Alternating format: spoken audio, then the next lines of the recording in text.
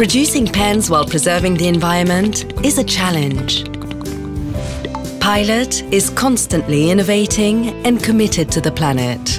That is why each of our actions always drives us to do better. Better by compensation. Rebalance. To contribute to climate protection, Pilot has for many years been committed to reducing its carbon footprint through a strong global sustainability policy.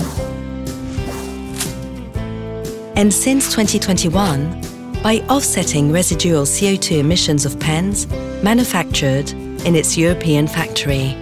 Through a partnership with Climate Partner, Pilot has therefore decided to support and fund the double project Clean Oceans Plastic Bank Worldwide. One of the objectives is to protect oceans from plastic pollution.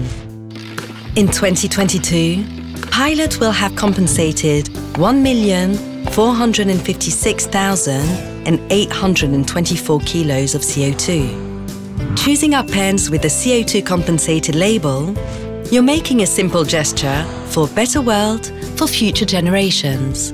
Taking care of men and women while preserving natural resources is the real strength of our company. Write your world. Pilot.